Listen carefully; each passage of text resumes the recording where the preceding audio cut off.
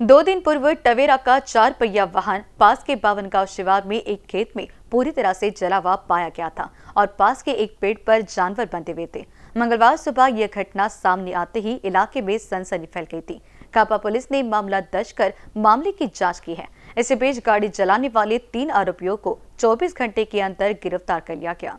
प्राप्त जानकारी के अनुसार गौरक्षक सुरक्षा बल को गुप्त सूचना मिली कि टवेरा वाहन क्रमांक एम एच इकतीस सी एन तीन चार पाँच दो में आठ गायों को खैरी मध्य प्रदेश से नागपुर ले जाया जा रहा है। इसके मुताबिक गौरक्षों ने बावन गाँव शिवार के एक खेत में गाड़ी रोकी और ड्राइवर की पिटाई की। चालक चंगुल से भागने में सफल रहा। गौरक्षकों ने गाड़ी से गाय को निकालकर खेत में एक पेड़ से बाँध दिया और गाड़ी में आग लगा दी। ये गाड़ी एक शिक्षक की है और गाड़ी मालिक ने इसे नौ दस माह पहले बेच दिया था। पशु तस्करी में शामिल आरोपी ने वाहन को अपने नाम पर पंजीकृत कराए बिना अपराध में इस्तेमाल किया। पुलिस द्वारा वाहन मालिक से संपर्क करने पर यह बात सामने आई है। आरोपियों ने घटना की वीडियो क्लिपिंग बनाई थी। जब यह वायरल हुई, तब इसके मुताबिक तीन संदिग्धों को वीडियो के सबूत और कुछ गोपनीय जानकारी के आधार पर वैज्ञानिक और तकनीकी फॉर्मूले का इस्तेमाल करते हुए और कुछ गुप्त मुखबिर की सूचना के आधार पर गिरफ़्तार किया गया।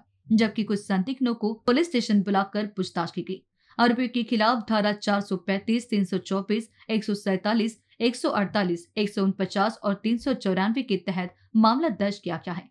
खापा थानेदार सुनील दहीबाते ने संभावना जताई है कि इस मामले में करीब 10 से 12 आरोपी हैं। यह मामला गंभीर और संवेदनशील होने से मामला अलग मोड़ ले सकता है।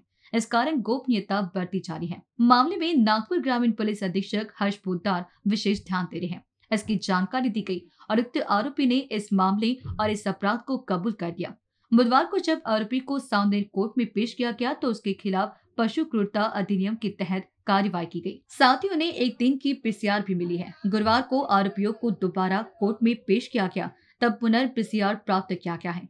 घटना की आगे की जाँच ग्रामीण पुलिस अधीक्षक हर्ष पोतार अपर पुलिस अधीक्षक रमेश धुमल उप विभागीय पुलिस अधिकारी अनिल मस्के, खापा के थानेदार सुनील दहीपाते, एएसआई प्रमोद बंसोड़ व सह पुलिस कर्मियों के मार्गदर्शन में की जा रही है।